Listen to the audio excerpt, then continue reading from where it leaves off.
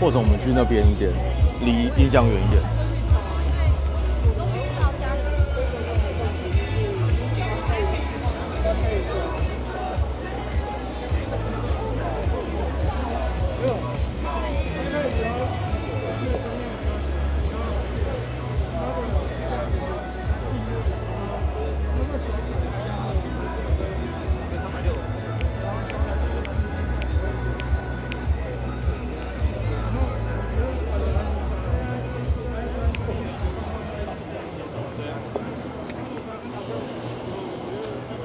二零一八年的巴黎车展上面啊，B N W 发表了名为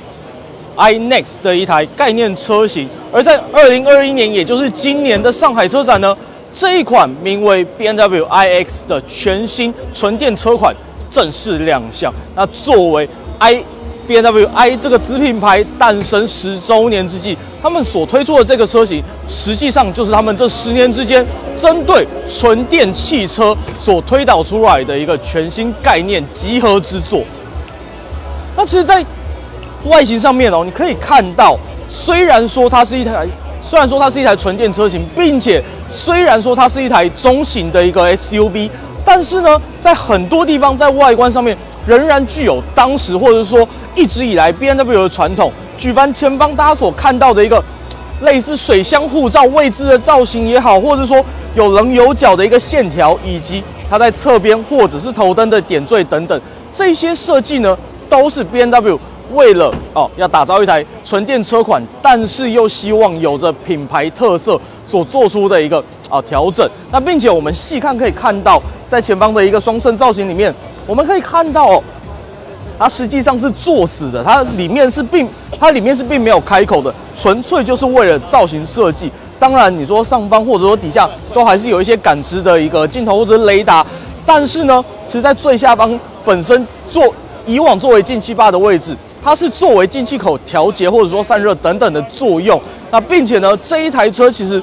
不要看它方方正正的，可能看起来很笨重，但实际上这一台车经过风洞测试之后得到的。风阻系数是零点二五 CD，这个数字其实是相当的惊人的。而且呢，这个数字或者是说这一个造型以及它的整体的空力设计，都是为了让这一台车更加的节能。那可以说哦，我们很直接的数字就是，透过这样子的一个空气力学以及零点二五 CD 的影响，实际上它的 WLTP 的一个量测续航里程可以直接增加了二十公里，可以说是非常的夸张哦。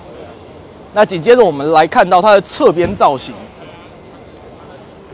同样跟我们刚刚所提的方方正正，可以说是相当类似。包含你说它侧边的线条也好，从 A 柱开始往上，甚至到往后的延伸，虽然说它仍然有一点点斜下的一个角度，但是呢，我们还是会觉得说它是相当利落的，甚至是说它的一个整体车高，比呃，其实包含你说它的车车长、车宽。还有车高等等，基本上可能都跟现行大家比较所熟悉的 X 五、X 六有比较高的相似之处。可是呢，这一台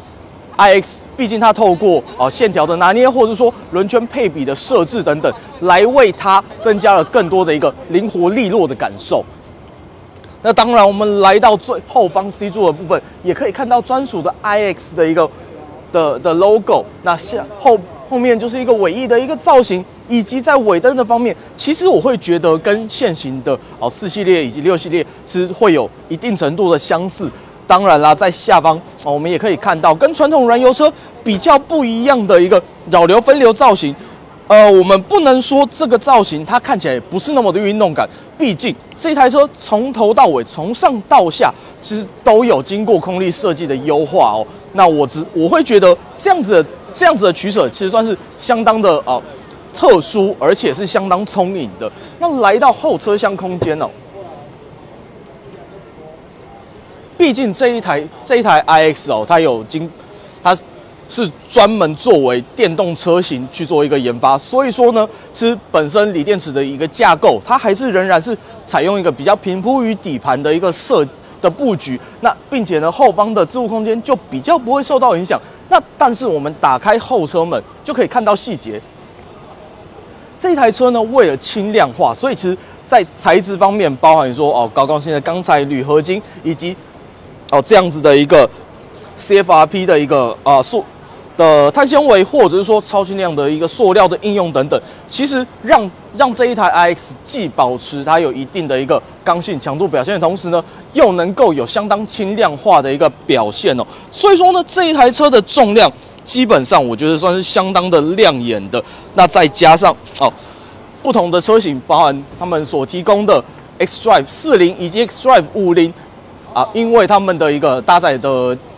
电池啊有所不同，所以重量也会有所不同，基本上会来到两千四百四十公斤以及两千五百八十五公斤，大概是差了一百四十五公斤左右。虽然说对于传统车型而言可能还是偏重，但是毕竟它是一个纯电车款，那为了去增强增长它的一个续航里程，我觉得不得不会有一些取舍的一个做法哦。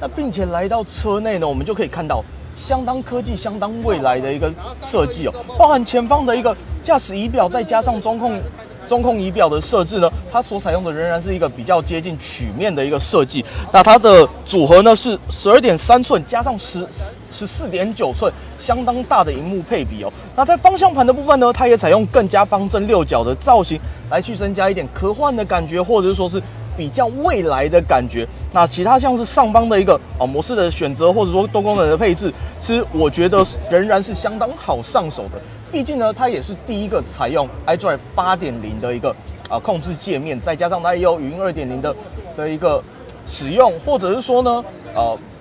，B N W 靠 B N W 的一个呃驾驶安全辅助系统等等的配置，那再加上这台车也同样搭载了智慧型。智慧型手机的智慧钥匙解锁的功能，所以呢，其实，在操控界面上面来说，你可以处处的都感觉得到科技，或者是说更加贴心的作为。那当然，本身它在风格的塑造，我们可以看到相当 相当尖锐，但是同样又很简洁简洁的设计里面，包含你说它应用了一些木头的材质，或者说全新的一个水晶雕刻的一个旋钮，以及啊它的一个。拨杆的部分，那甚至说它在滚轮的部分哦，它也采用了一个旋钮的，它也采用了一个水晶的配置。我觉得这一点算是他们细节上面相当相当注重的。而且呢，如果说大家有看到中控台上面的那个橄榄叶，其实这也是他们在内装的一个材质上面，他们所所提倡的哦，你可以用更加环保的制成以及原料来去达到环境友善的目的。那再来就是大家可以看到门把上面的音响的部分，那。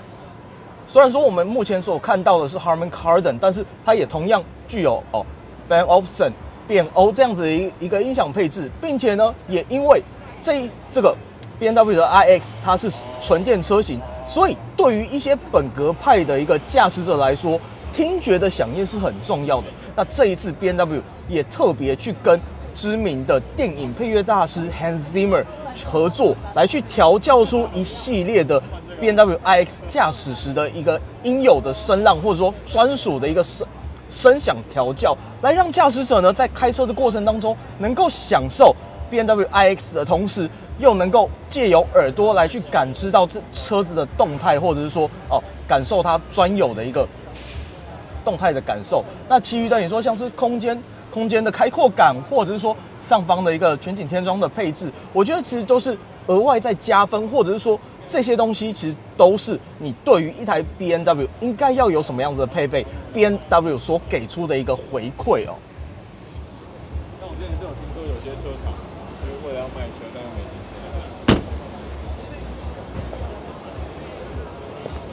那最后我们要聊到的就是动力的配置哦。那这一次呢，如同我们刚所讲的。具有 xDrive 四零以及 xDrive 五零两款的配置。那首先是 xDrive 四零呢，它所搭载的的锂电池架构，它本身具有啊七十一千瓦时的一个可用容积。那最大的电池容量则是七十六点六千瓦时。那如果说是在一百一百五十千瓦的一个快快充规格底下呢，基本上它从十十 percent 到八十 percent，只要三十一分钟就可以完成，并且呢。只要十分钟就能够回充到具有九十五公里的一个续航里程，最大续航里程呢，也可以从三百七十二公里来到了四百二十五公里，我觉得已经是相当实用的配置。而且在动力输出的表现上面，最大马力两百四十千瓦，等等效马力则是三百二十六 PS，最大扭力呢则是来到了六四点二四公斤米，相当的哦，我觉得是相当的充沛。而且呢，零到一百加速也只要六点一秒。但是如果这个数字你不满足的话，可以看看 xDrive 五零，因为它的输出更加的强悍哦。那最大功率会来到了三百八十五千瓦。等效马力则是五百五百二十三 PS，最大扭力呢则会来到了惊人的七十八公斤米。那所搭载的锂电池呢，啊，最大容积则是一百一十一点五千瓦时，而可用的容积则会是一百零五千瓦时。那续航里程则会来到了五百四十九公里到六百三十公里，一举突破六百公里的表现，可以说是对应出对应到非常多人对于电动车的一个。疑惑，或者是说日常生活的使用，那也因为这样子，其实目前范德表示哦，目前所累积的六百多张订单里面，其实占有七成的比例都是选择了 xDrive 五零，因为它有更好的动力输出的同时，它也拥有了更长的一个续航里程，也能够更加的去贴近日常使用，不会为了啊里程焦虑而感到担忧哦。那并且呢，哦。它的零到一百加速甚至也来到了四点六秒，而充电的规格呢，在在两两百瓦的一个 DC 快充底下啊，基本上从十 percent 到八十 percent 也只要三十五分钟。如果说呢充电十十分钟的话呢，就可以回充到哦一百五十公里的一个续航里程。我觉得不论是从它的一个哦。整体的一个续航力来说，或者是说呢，在超超充底下的一个充电速率，都是相当相当惊人的。那最后再来到了售价的部分，先前的预售价，xDrive 四零开到了三百一十六万，而 xDrive 五零则是开到了三百八十六万。但是因应全球的一个原物料的调涨以及晶片等等的元素哦，所以呢，德国原厂其实有稍微再调整了一点点售价，正式售价来到了三百二十万以及三百九十万，各自都调涨了四万元。但是总代理范德也表示，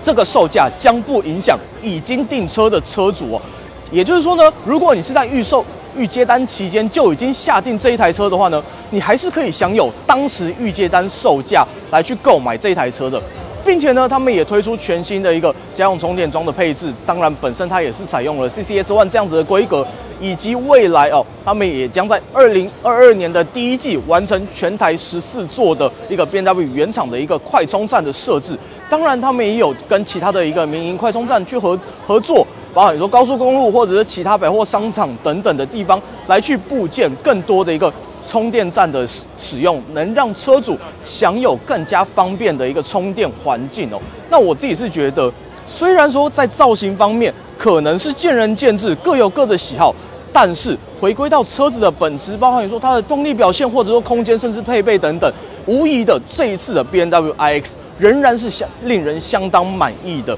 至于售价呢，嗯，我觉得也还是在合理范围之内，而且这样子的续航里程，一定可以打破你对于电动车以往的认知，或者是说对于它的怀疑，都会一笔勾销。以上就是我们今天对于全新 B N W I X 发表会的。简短介绍，那我是 Derek，我们就明年再见喽，バイバイ。